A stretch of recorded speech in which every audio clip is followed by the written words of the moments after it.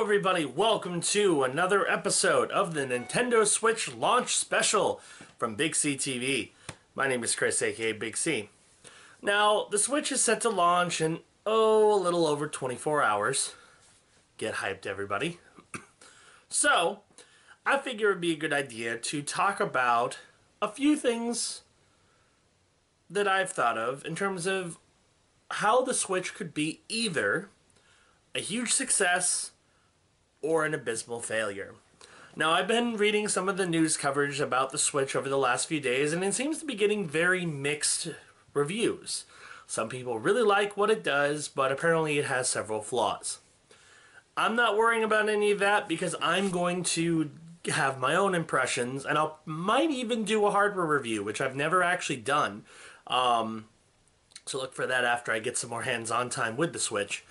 But I'm going to give you two different videos that are going to focus on five reasons why the Switch will be a huge success or an abysmal failure. So we're going to start with the positive. Here are five reasons why the Nintendo Switch are, is going to be huge and possibly game changing. Alright, so number one third party support one thing that Nintendo, for the most part over the last few console generations, with the Wii being the lone exception, has kind of struggled on is third party relations. Sure, Nintendo makes tons of great games, and they have a good staple of second party developers to help boost their first party sales. But keeping third parties around hasn't been a high priority, and it shows. When you look at the systems and the amount of games that were out on the GameCube and the Wii U, neither had a particularly strong showing from third parties, although they had their fair share of solid entries. Um, the Switch can be the game changer for that. Um, all you have to do is go to a developer and tell them, look, this game that you've been working on for PlayStation 4 or Xbox One, imagine if you can sell it to people who can take it on the go. That's one of the biggest selling points of the Switch, and I think the ability to take console quality games on the go is going to be a huge selling point for third parties. Of course, it remains to be seen whether some of the biggest franchises in gaming decide to migrate over to the Switch, but we do know certain ones are, such as FIFA, NBA 2K, Just Dance, just to name a few. Um, so it'll be interesting to see where the third party support is for the Switch in the future. So that is an aspect that will, if done correctly, and if Nintendo really focuses on those third party relationships, could mean gold for the Switch. Number two is focusing on what makes the Switch the Switch. So, of course, with the Nintendo Switch, the biggest thing that the system has going for it is the fact that it is a console that you can take with you you can take console quality games with you on the go, even though it's for a limited amount of time, but still. Um, and I think that's going to be a major factor into what kinds of games are going to come out on the system.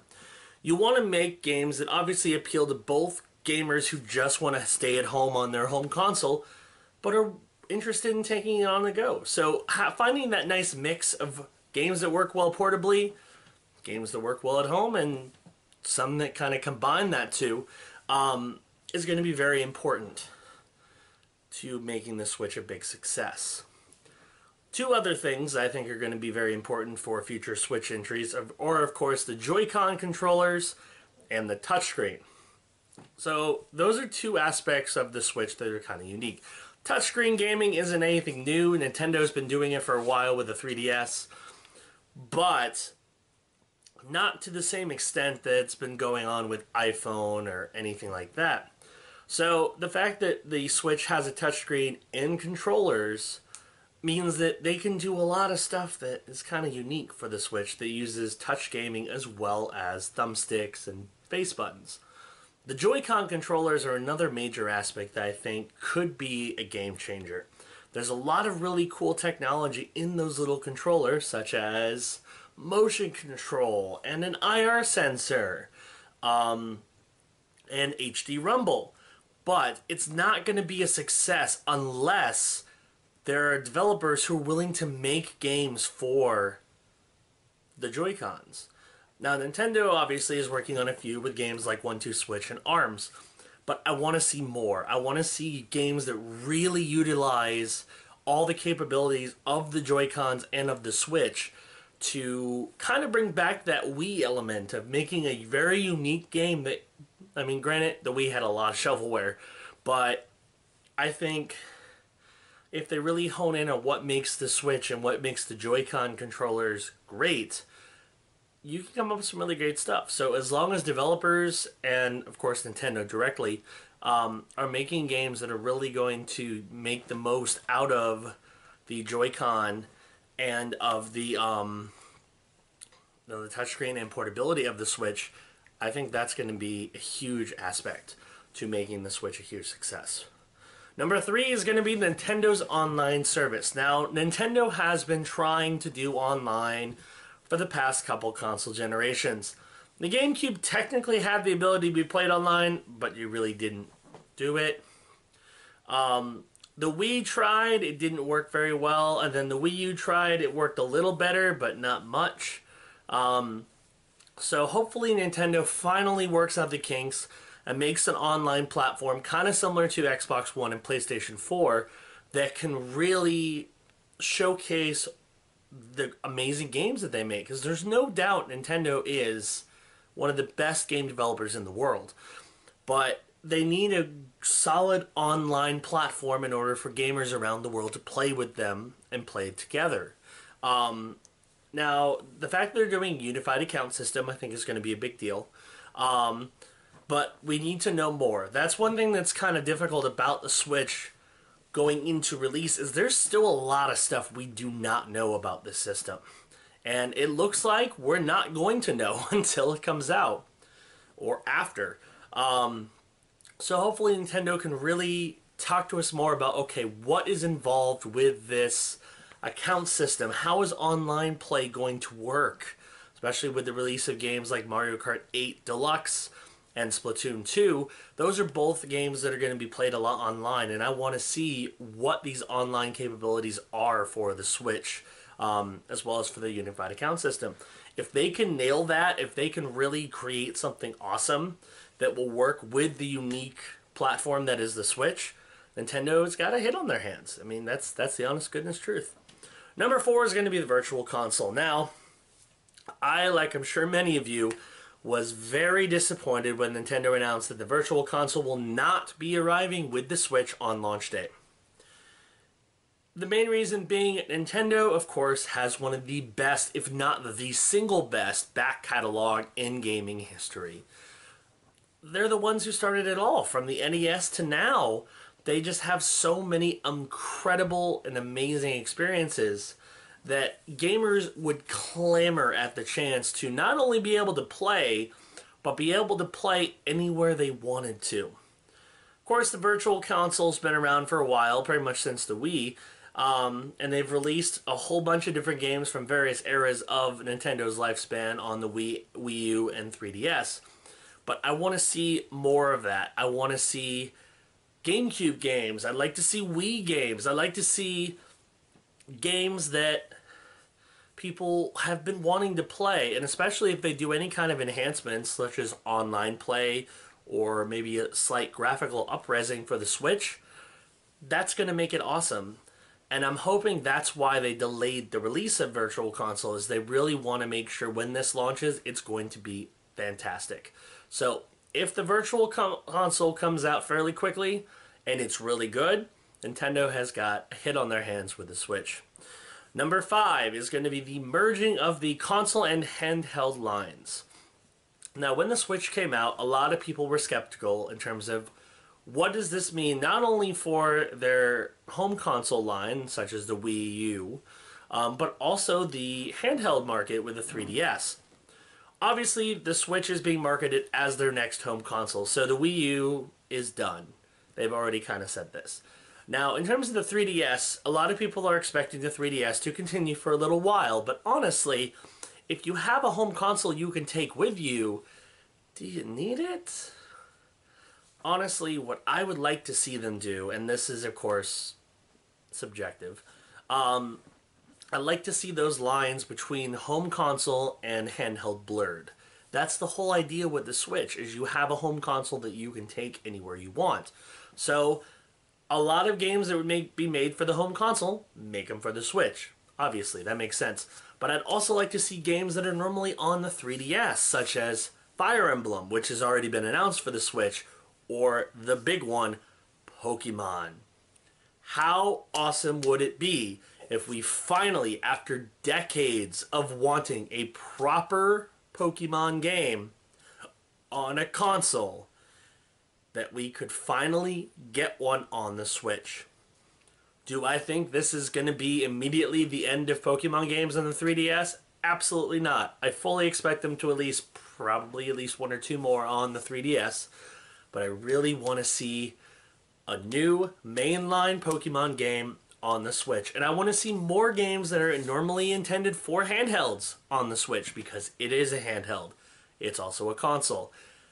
Give me the ability to play it on the go as it's intended or play it at home. If I want to sit here for hours on end and play Pokemon on my, you know, 60-inch TV, let me do that. Um, and I think that's part of the beauty of the Switch like I've said a couple times already. Um, so if Nintendo can really figure out how to blur those two lines between a handheld game and a console game and really focus on that and create, you know, a whole bunch of great experiences on one platform rather than two, um, I think that's going to mean huge success. Uh, so, in a recap of everything that I discussed, just briefly, we have five reasons why the Nintendo Switch could be a huge success. They gotta nail third party support, get a lot of support from everybody making games. You want them to make games on the Switch, they gotta really sell it. You want to really focus on the Switch exclusives, such as the portability of it, the Joy-Cons, and the touchscreen. If you make games that utilize all three of those aspects to the best of their ability, how could it not be a hit? You have to nail the online service. If Nintendo is able to make an online service that works well and that allows you to play Nintendo multiplayer games online with friends easily, what's not to love? You got to nail the virtual console. As soon as it comes out, you got to make sure it's got a ton of great games, preferably with some kind of online or local multiplayer options for the Switch that are portable. That that's that's awesome. That's going to be amazing. And 5, blur the line between handheld and console. If you can nail all five of those things, the Switch is going to be a runaway success. And I honestly hope it is. Because Nintendo, of course, is a great company and they make all kinds of awesome games and have been for pretty much since the dawn of gaming. So I really want to see the Switch become a huge success and for Nintendo to continue making awesome games because, I mean, who doesn't love awesome Nintendo games? So there you go. Those are my thoughts on five reasons why the Nintendo Switch could be a huge success. Uh, now, if you want to see a differing opinion, look for another video that should be posted right around the same time as this one for five reasons why the Nintendo Switch could be abysmal, an abysmal failure. Not quite as happy, but I mean, you know, gotta have differing opinions. So that's gonna do it for this episode of the Nintendo Switch launch special. Of course, if you want to see even more Nintendo Switch coverage, look no further than here on YouTube. Uh, I will be doing a live unboxing of the Nintendo Switch on Facebook Live around 12:30ish Eastern on March 3rd. Um, I'm also going to do basic setup, try to make sure everything's good to go for my Switch. Um, I will be doing at one point a live gameplay demonstration, maybe not live, but a, a recorded gameplay demonstration of One Two Switch and some of the mini video ga- um, mini games that are available on that. Um, and then after I get some proper hands-on time with it, I might even do a review or at least a hands-on impression with the system.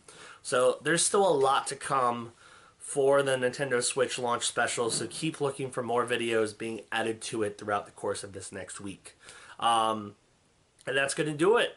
So if you enjoyed this video, please be sure to hit that subscribe button on YouTube. Follow me on Twitch. Both are at Big C TV. Um, I would like to point out that as of now, because Twitch seems to be having difficulty on PlayStation 4, um, Xbox One games, I will be streaming on Twitch because it seems to work perfectly well there. PlayStation 4 games, I'm going to start streaming using YouTube. Uh, YouTube's live functionality. Um, it's not because I want to necessarily. I really like Twitch and how everything's done, but it seems to work a lot more consistently on PlayStation 4. So expect a lot more games such as my Horizon Zero Dawn and Nioh series to all of a sudden appear directly on YouTube and not streamed on Twitch. So just a little PSA on that. Um, follow me on social media on Facebook and Twitter at Big CTV Show. And if you want to help shape the future of Big CTV, become a Patreon patron and help fund other great projects that I can work on, such as my narrative series, which I'm still working on. I just don't have time right now to uh, really devote to it, but I will work on that at some point.